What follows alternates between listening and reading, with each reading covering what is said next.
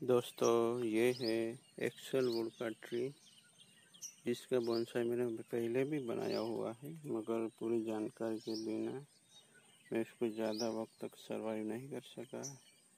दो तीन साल के बाद वो डाइबिक हो गया था पूरा तो मैं आज फिर से उसका हार्वेस्टिंग करने आया हूँ, क्योंकि ये स्प्रिंग में स्प्राउटिंग नहीं करता। ये मई में 20 तारीख के बाद या 15 तारीख के बाद ही स्प्राउटिंग करता है। नहीं तो डोरमेट में रहता है। तो ये ऐसी जगह है जहाँ से मैं पहले ही खुदाई की हुई है। तो वहाँ से इजीली मैं आज उसको हार्वेस्टिंग कर सकता हूँ। आज मेरे पास आर ही नहीं है। तो मुझे छोटे प्लांट ही लेना पड़ेगा। आ रही होती तो मैं प्लांट भी हार्वेस्टिंग कर सकता था। बाहर आया हूँ। आज ऊनाई के जंगलों में हूँ।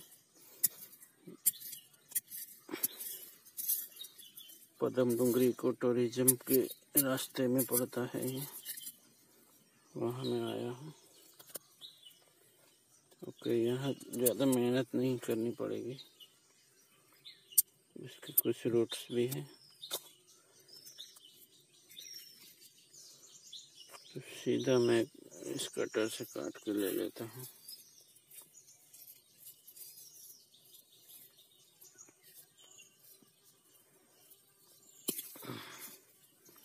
ये देखिए दोस्तों, ये हार्वेस्टिंग हो गया है। पहले मैंने, स्प्रिंग के पहले या उस, उधर मैंने हार्वेस्टिंग किया था, मगर सरवाइव नहीं हो सका क्योंकि तब तो ये डोरमेट में था। ये मई में ही जागता है। तो मैं अब ये मानसून यहाँ आज हल्की सी बारिश भी हुई है। अभी उसमें स्प्राउट भी आ गए हैं, नया ग्रोथ भी आ गया है। तो हार्वेस्टिंग के बाद पहले स्टेप होता है उसके रूट बोल के सुरक्षा करना, जिससे यह मॉइस्चर बना रहे। तो मैं क्या करता हूँ कि प्लास्टिक रब कर देता हूँ पहले ही। इसे ही हार्वेस्टिंग किया प्लास्टिक बाँध ले। प्लास्टिक बाँध लिया है और बाद में हमें थोड़ा प्रूनिंग करना होता है प्लांट का। और जो भी लीफ नए आए हैं, ज़्यादा लीफ नहीं रखेंगे क्योंकि इससे मॉइस्चर जो भी है अभी, जो हमें रूट डेवलप करने में चाहिए वो चला जाएगा।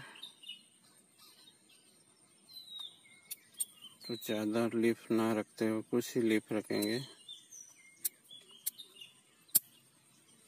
ओके, ये रेडी है।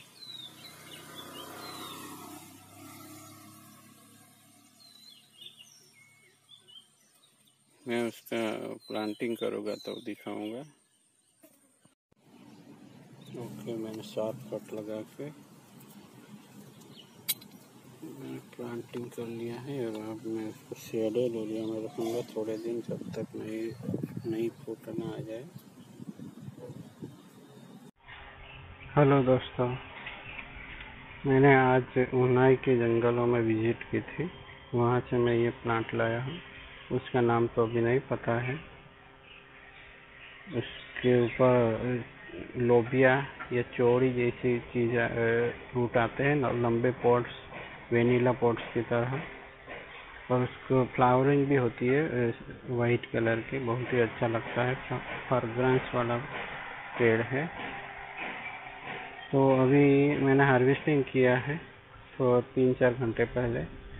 और हार्वेस्टिंग करने का टाइम देखिए, कैसे होगा? ये थोड़ा सा मैं लेट हो गया हूँ, थोड़ा सा स्वेलिंग बाहर आ गए बर्ड्स। ठीक है, शायद हो जाए, मगर थोड़ा सा लेट हुआ हूँ। उससे पहले ही मुझे ये बर्ड थोड़े छोटे हो गए। तभी मुझे हार्वेस्टिंग करना था पर मैं लेट हो गया। तो अभी अभी ये जाग रहा है प्लांट डोरमेट में से। तो मैं आज उसका पोटिंग करने वाला हूँ। हार्वेस्टिंग के बाद ध्यान रखें कि उसमें से मॉइस्चर ज़्यादा ना बाहर आए। अगर पत्ते बड़े हो तो हटा लें।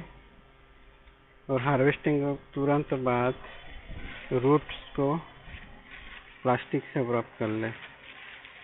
जिससे अंदर मॉइस्चर बना रहे। यहाँ खाली मैं एक केवल एक शार्प कट लगाऊँगा और उसको प्लांट कर दूँगा। देखिए। ये मेरा होममेड नाइफ है, कार्विंग नाइफ। देखिए एक से कट लगा लिया। अभी सीज़न अच्छा है तो रूटिंग हार्मोन ना हो तो भी चलेगा। और मैं इस प्लांट को अच्छे से एंकरिंग करूँगा, इसी स्टाइल में लगाऊँगा।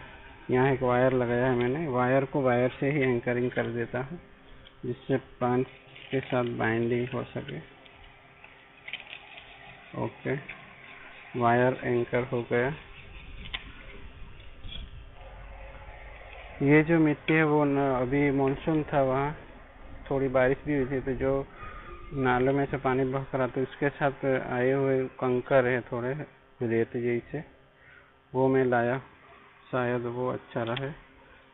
बोनसाई सोल के साथ मिक्स करने के लिए एज ए रिवर सेंट तो मैं प्लांट को एंकरिंग कर रहा हूँ इस पॉट के साथ, जिससे ज़्यादा हिले डुले ना।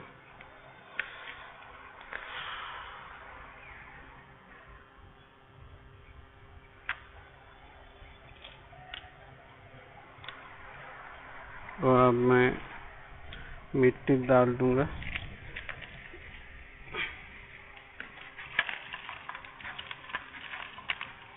कि बोनसाई सोयल के साथ मैंने जो मैं वहाँ से नाले में से लाया हूँ, जंगल के, वो मिट्टी लगाई है।